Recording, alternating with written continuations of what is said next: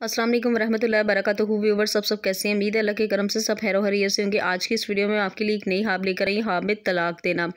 जो शख्स हाब में देखता है कि उसको तलाक हो गई है, कोई औरत हाब देखती है या कोई मर्द अपनी बीवी को तलाक दे देता है तो वो यही जानना चाहता है, इस हाब की तबीर क्या जैसा कि आप जानते हैं कि हाब की तबीर को झूठ बताना या अपने से बताना, इसका बहुत सा गुनाह है।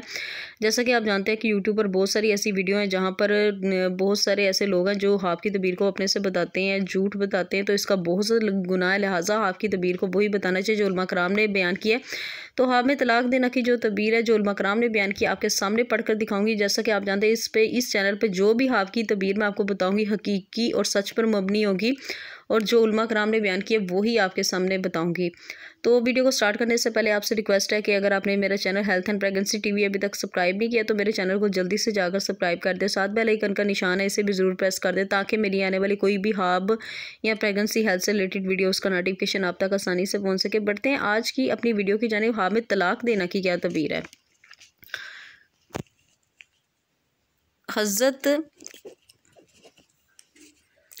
हज़रत इबन सरीन रहमत ने फरमाया कि अगर ख्वाब में देखे कि इसने औरत को तलाक दी है और इसकी एक ही औरत है। दलील है कि मर्तबे और इज़्ज़त से गिरेगा। यानी कि अगर कोई शख्स ख्वाब में देखता है कि उसने अपनी बीवी को, यानी कि औरत को तलाक दिया, अगर उसकी एक ही बीवी है कि उसकी उसकी इस दुनिया में इज़्ज़त और मरतबा गिर जाएगा, अगर इसकी औरत के सिवा और भी औरतें हैं, यानी कि उसकी एक बीवी के सिवा और भी उसकी बीवियाँ हैं तो इसके, दलील है कि इसके मरतबे और इज़्ज़त में कुछ कमी आएगी। कि इसकी इज़्ज़त यही है कि इसकी हाब की तबीर का मतलब यही है कि इसकी इज़्ज़त ख़त्म हो गई है इसके मरतबे में कुछ कमी आएगी।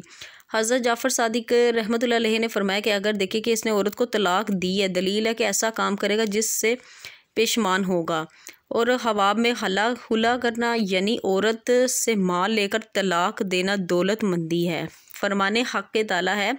और अगर औरत मर्द से जुदा हो जाए और अल्लाह ताला हर एक को अपनी कसाई से बेनियाज करेगा। तो व्यूवर्स आज की जो आपकी तबीयत यहाँ तक थी पढ़ते हुए किसी भी चीज़ की कहीं से गलती होगी तो इस चीज़ के लिए माफ़ी की मुस्तक हूँ। अपना बहुत ज़्यादा ख्याल रखिए। मुझे भी दुआ में याद रखिए। मिलते हैं नेक्स्ट वीडियो में इतनी देर के लिए। अल्लाह हाफिज़।